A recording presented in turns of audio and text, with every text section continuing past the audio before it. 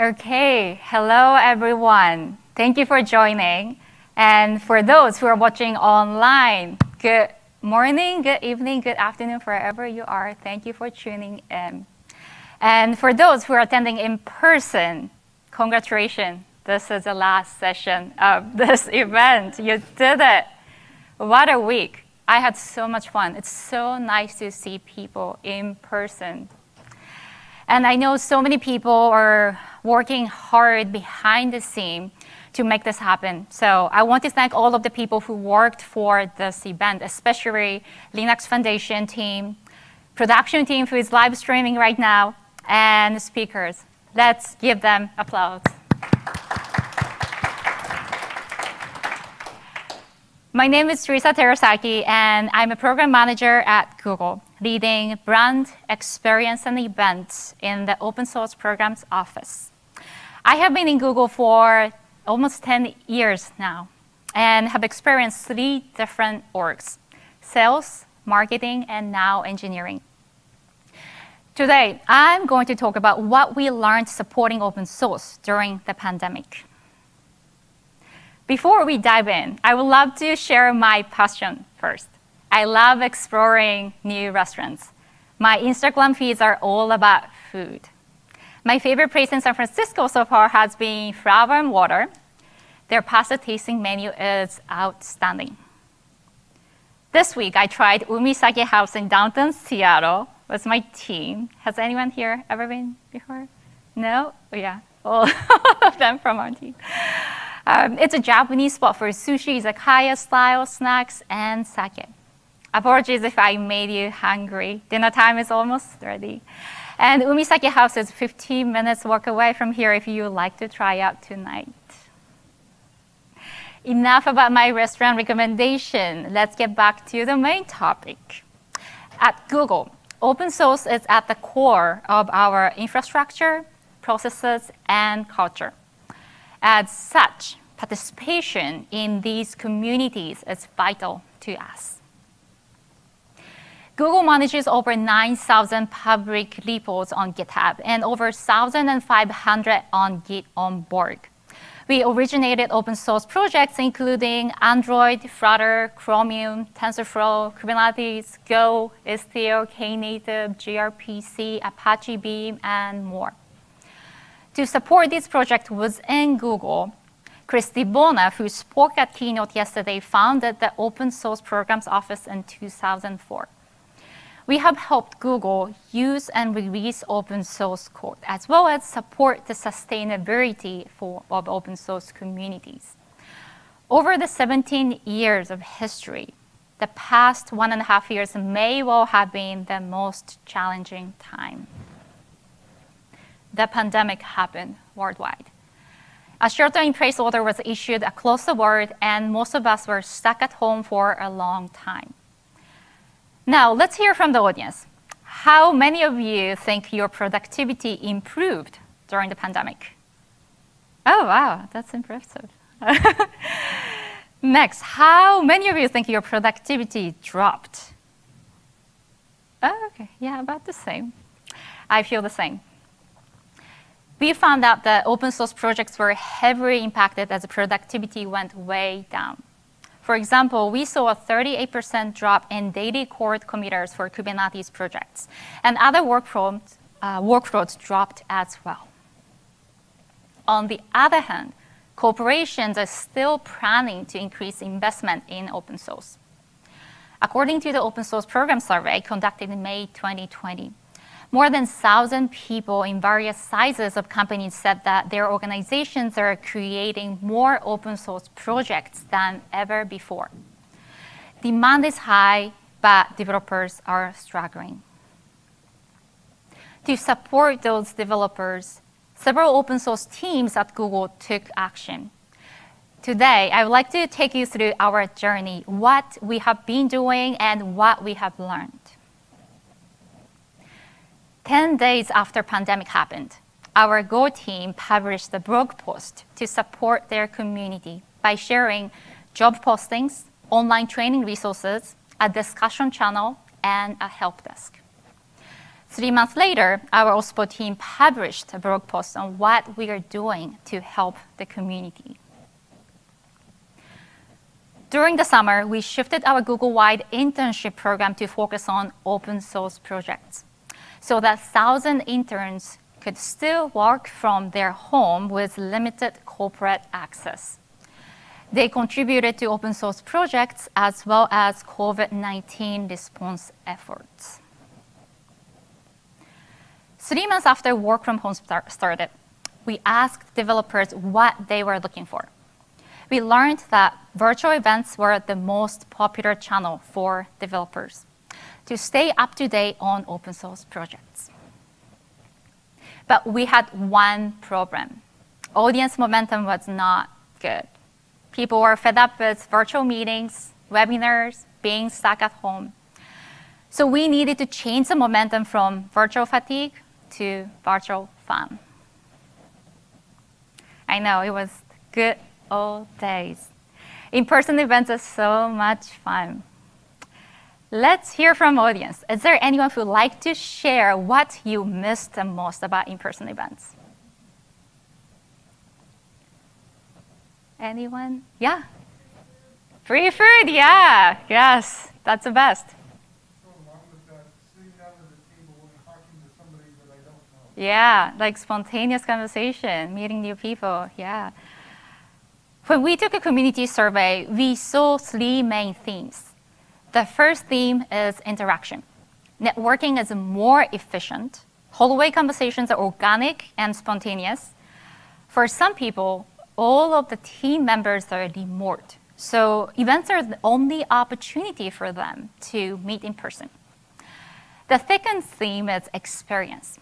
You can feel energy, emotion, and excitement. And you can also explore a new country or city. And of course, there is a swag and after party, free food. The third theme is practicality. You can interact with experts and get help on projects. We took this learning and tried to apply these elements to our virtual events. We had to launch something quickly. So we looked inside of Google to find existing resources we could use.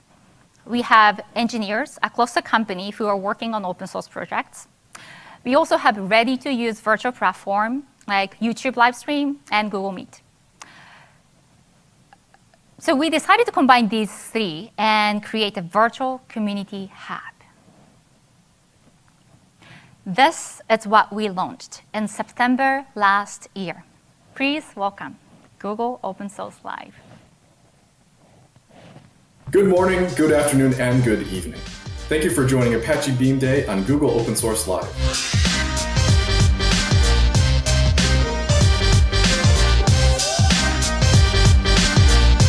And finally, we'll just make some minor modifications to the code. I'm adding a hello handler function. With that, it's time for the after party.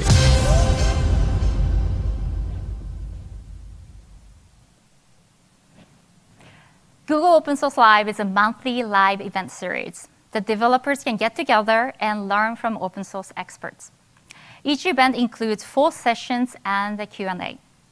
We finish with an after party or Google Meet so the attendees can connect with the speakers directly and have some fun with other developers. When we launched the Community Event Hub, we wanted to focus on three key values, real-time, interactive, and accessible. Real-time. To liven things up and engaged audience, there is no going back no playback function until the event ends. So this helps create an engaged and focused audience. Interactive. We have a Q&A live wall below the live stream window so that the audience can ask questions during the presentation. Sessions are pre-recorded so that the speakers can focus on answering those questions live. At the end, we conclude the event with an after party with a DJ, a face drawing artist, quizzes, and prize giveaway. Finally, accessible. All the sessions are pre-recorded four weeks in advance so that we can add human-generated captioning. To make them accessible to the deaf, hard of hearing, blind, low vision, developmentally disabled, and neurodivergent communities. Captioning is also beneficial for non-native English speakers. We also published guidelines for virtual event uh, accessibility so that other open source community member can uh, plan an accessible event. Because this event is online, there are no geographical restrictions. Anyone can join from anywhere in the world. We set the event time at 9 a.m. Pacific so that the majority of our EMEA audience and some APAC can join live. If the time doesn't work for them, they can watch the recording later. We recently started to translate the sessions to some local languages, including Spanish, Japanese, and Chinese. We add subtitles and voiceover. And voiceover is done by our internal volunteers, including myself. I'm doing Japanese voiceover, if you ever hear. These are some examples of top popular activities. LivePoll and WordCloud are interactive tools to increase audience engagement. We also invite a face drawing artist to every event. Lucky winners can receive a digital copy of their drawing. If you want to win the face drawing, you have to turn your camera on. This flow encourages the audience to join in the conversation and create a community vibe. Gamification is a great way to increase audience engagement too. We conduct quizzes related to each live stream session and give away a prize to quiz winners.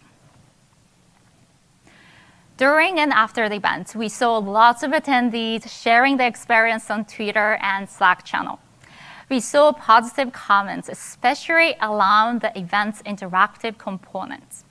And we learned that the audience loved taking screenshots of themselves next to a speaker on Google Meet. We provide special virtual backgrounds for speakers so that the audience can spot them easily on Google Meet. We received great comments from attendees. Quote, the live event was surprisingly great experience today. A couple of hours of curated, insightful, and well-prepared talks. Interesting and helpful format, end quote. We have hosted 12 events over a year with attendees from 107 countries and have achieved a 4.5 out of 5 satisfaction score, which is quite high for an online event. 57% of attendees were new learners, and the rest were either contributors or using it in production. If you are free next Thursday, please join us for the October event, Open Source Productivity Day on October 7th at 9 a.m. Pacific time. I will take a moment so that people can take a picture. Thank you. Over the past 12 months, we have been trying out new ideas and keep pivoting. We have learned a lot from this experience, and I'd like to share our six key learnings. Learning one, your personal life matters. The pandemic impacted developers' personal life. They may not have a private workspace. They may have their children at home. For some people, work is not their priority anymore. So we have to step back and think how we can help them as individuals.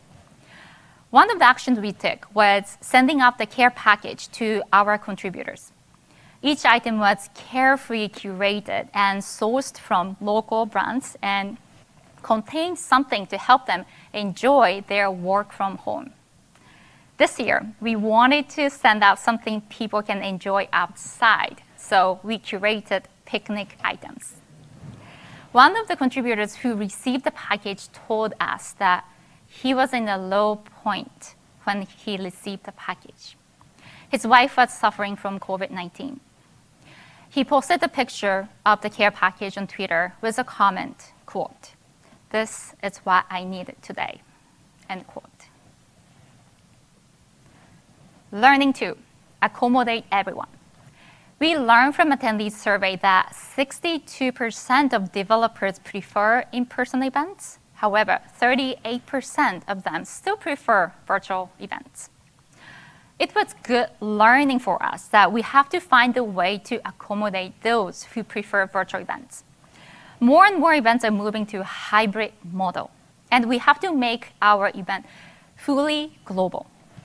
You may want to host three events in three different time zones, including Americas, APAC, and EMEA. If an in-person event is happening in Americas, we can live stream the recording in the EMEA and APAC time zone with local live contents so that they can also enjoy the live feeling. We may want to create a separate chat room by region so that virtual attendees can talk to each other during the live stream. If we are distributing Swag at an in-person event, we may want to consider shipping to online attendees also. We may want to set up a live cam on site so that online attendees can talk to in-person attendees. We need to compensate for what virtual events are lacking so that online attendees can also get an equivalent benefit. Learning three, sustainability. Travel.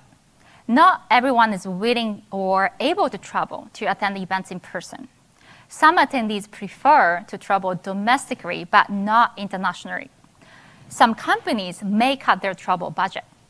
Creating an attractive hybrid model can also reduce the event's carbon footprint. Swag. When we make a purchase decision, we also try to keep sustainability top of mind. Some swag manufacturers offer a charitable programs such as 1% of sales donation to nonprofits to protect the planet. Plastic. We may want to provide a drink bottle as a swag and set up a water station at the event so that we can reduce plastic usage. Learning four. If content is king, brand design is a new queen. For virtual event, user touchpoints are very limited. We teamed up with a design team and created a cohesive brand experience. Shifting to a design-centric event creates a beautiful and fun audience experience. Learning five, internal community is your power source. This year, we hosted an internal summit for open source engineers at Google. The whole day virtual event became the place where our engineers could find out about other open source projects. The audience loved all the connections that came out of the event. People found each other in the chat room. People dropped by virtual office hours to talk to project leads in person, virtually. After this event, communication volumes inside of our company significantly increased. And we could identify our internal needs as well as cross-functional collaboration. Learning six, keep evolving. Especially in this new post-pandemic era, the world is changing quickly. So we have to keep improving. Every week, we look into our workflow, audience needs, learning from the previous event, and come up with new ideas and creative solutions. This process enables our programs to accommodate audience needs in the long term. If you are struggling to foster your community, you are not alone. We will get through this together. We have more team members in this room today. Could you raise your hands if you are from Google? Radha, Ka, Sophia. Oh, I didn't know you were from Google. Oh, cool. Uh, great. If you find your faces in the hallway, please stop us. Let's chat. For those who are joining online, send me a message through the event platform. With that, that's a wrap. Thank you so much for having me today. Does anyone have any questions? No? Great. Thank you so much. Enjoy the rest of the night.